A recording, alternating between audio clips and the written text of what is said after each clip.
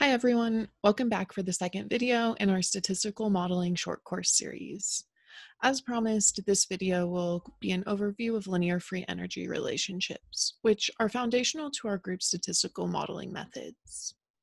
Most of the topics we'll cover in this section should be familiar to those of you who have taken a course covering physical organic chemistry methods. In this video, I'll remind you about what linear free energy relationships are and why they're useful to physical organic chemists. And we'll do this by revisiting Hammett's groundbreaking work on linear free energy relationships, which underpin the theoretical framework for our modern statistical modeling workflow. so what are linear free energy relationships? As a general principle, linear free energy relationships can be constructed if one holds all of the independent variables in a system constant except for one, and correlates that change in the variable or the parameter to a measured output. And obviously, as chemists, we're interested in chemical outputs. And as the name implies, linear free energy relationship outputs should be energetic you can probably think of at least two energetic outputs that chemists are interested in modeling or in measuring, uh, and we'll come back around to that later. Uh, as another general note on linear free energy relationships, it's important to remember that we can only make meaningful linear free energy relationships if changing the parameter or independent variable of interest is accompanied by a proportional change in the energetic output that's being measured. and physical organ- organic chemists use linear free energy relationships to quantitatively relate structure to function and reactivity. And this is done by comparing thermodynamic outputs for a series of related reactions. And the first studies in this area were focused on substituent effects. And these studies asked the question how do reaction energetics like KEQ vary with the inductive effects of different substituents? And Hammett was the first person to publish on this topic in the late 1930s when he related the pKa's of substituted benzoic acids to a quantitative molecular descriptor Hammett intuitively derived an expression to relate this molecular descriptor to thermodynamic observables, in this case, the measured acid base constants for benzoic acids. Hammett called this molecular descriptor sigma para, and sigma para quantitatively describes the inductive effects of substitution on the acidity equilibrium constant for para-substituted benzoic acids. So as we know, electron withdrawing groups shift this equilibrium to the right, therefore increasing the value of KEQ, because the withdrawing groups stabilize the anion that is formed over the course of this reaction by induction. A nitro group is strongly electron withdrawing and has a sigma para value near positive 1. And so Hammett measured all of these different acidity constants and related the pKa's of the para-substituted benzoic acids to sigma para using a line of the form y equals mx plus b, where our dependent variable of interest is the log of the ratio of equilibrium constants, and sigma is our dependent variable. Hammett termed the slope of this line rho, and in the case of the ionization of benzoic acids, rho is equal to 1. And it turns out that rho is actually a sensitivity factor. The magnitude of rho describes how sensitive a reaction is to different substituent effects. This is illustrated in the acid-base equilibrium constants observed for para-substituted phenylacetic acids. When a carbon is added between the aryl ring and the reactive moiety, inductive effects are less pronounced, as indicated by the reduced value of rho when we correlate it. This makes sense because we know that inductive effects are spatially dependent. An electron withdrawing group that's farther removed from the reactive moiety is less effective at stabilizing the carboxylate it's interesting to note that when one more carbon is added, so when we're talking about the ionization of phenylpropanoic acids, the rho value is 0.21. So this isn't necessarily a linear response.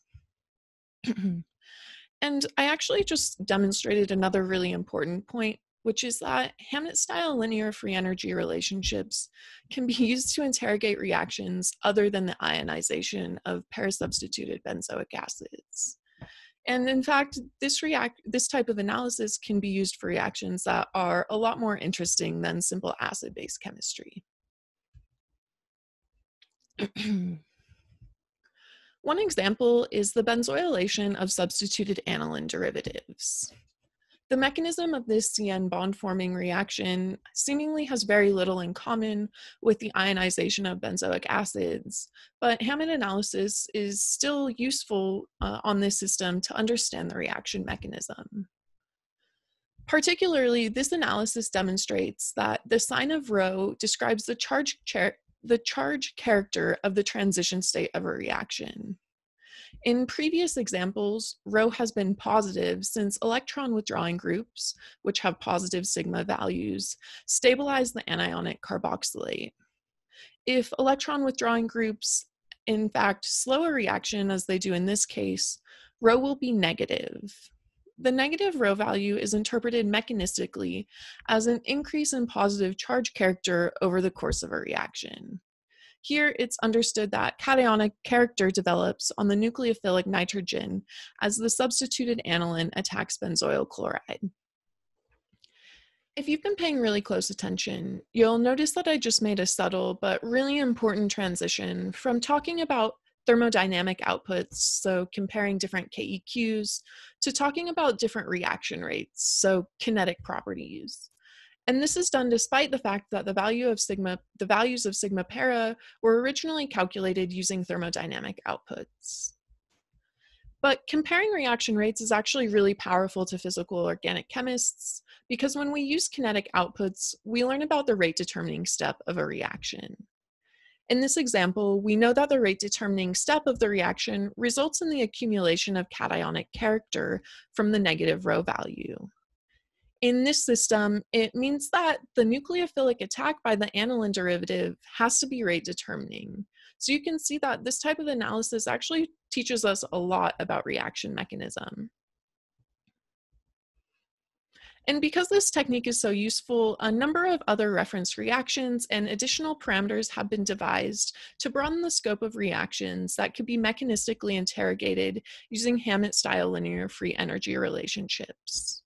For example, Brown and Okamoto introduced resonance effects parameters. They named these parameters sigma minus and sigma plus. Sigma minus values were calculated based on the observed acid-base equilibria of substituted phenols, while sigma plus was calculated from the, the observed solvolysis rates of substituted isopropyl benzene derivatives, which proceed through a tertiary benzylic cation intermediate.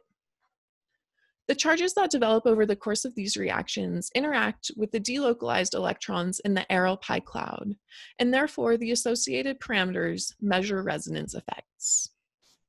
In addition to this work, in the decades that followed Hammett's seminal studies on linear free energy relationships, many other Many others devised parameters for reference reactions so that field, resonance, inductive, polarizability, and steric effects of substitution on reactions could be interrogated.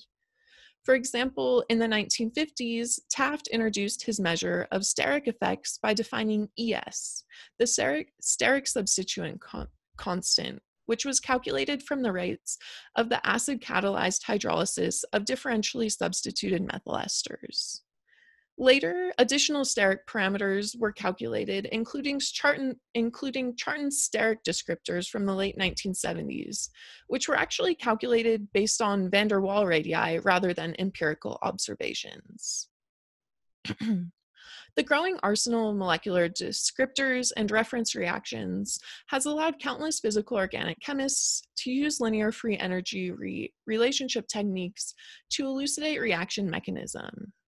And while this analysis to this day remains one of the premier tools that chemists have when studying reaction mechanisms, there are certainly limitations to traditional linear free energy relationship tools. One limitation is that most parameters were experimentally determined, which means that someone actually had to measure all of those rates or equilibrium constants, which can be an arduous process. And also, some of the substituent parameter values actually can't be determined because of their incompatibility with their reference reactions. Another issue is that while some parameters have very clear physical meaning, like Charton steric parameters based on atomic radii, others are less easily interpreted in a physical sense. But the two limitations that ultimately led to the Sigman Group's modern statistical modeling strategy is that only one substituent effect could be probed at a time, and that these linear free energy relationships didn't necessarily predict substituents that would make reactions work better. And so, about a decade ago, people in the group began pondering how linear free energy relationships might be constructed so that more than one substituent could be tested at once. And more importantly, if these linear free energy relationships could be mechanistically insightful and useful for reaction development. And the group is still really interested in these questions, but our models and the molecular descriptors we have we use have become a lot more sophisticated. In our next video, we'll talk about how linear free energy relationship methods and parameters have evolved in the Sigman group so that we can construct mechanistically insightful and predictive models.